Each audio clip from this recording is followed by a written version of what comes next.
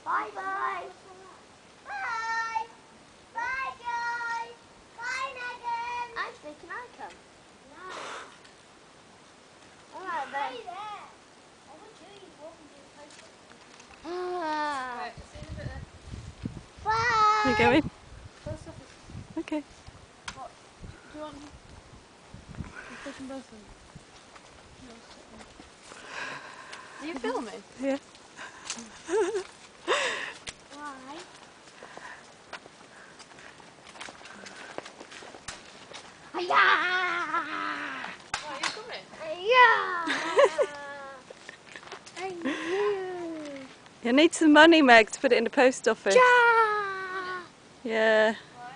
Because you have to pay 10p hasn't it? So get you some. Yeah. Shop.